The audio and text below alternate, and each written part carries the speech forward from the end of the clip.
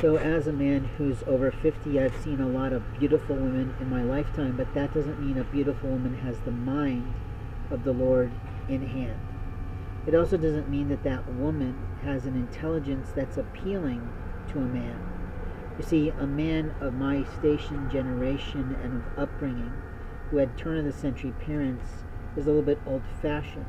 I realize that people produce an instant attraction and sometimes go immediately to bed together but a man who's been sexually assaulted, perversely, physically deformed, and had a problem is not going to jump in bed with someone he just meets.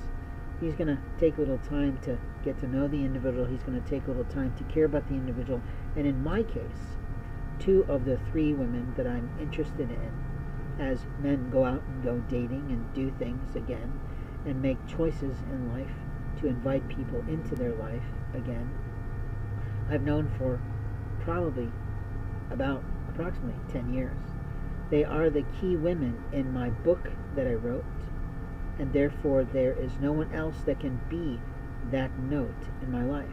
The third individual is an author and a Secret Service agent, and I am quite enamored with what I see, hear, and think about that individual's heart, soul, and mind and it took critical view of some interviews to make me intrigued enough to reach out to probably a perfect stranger like that.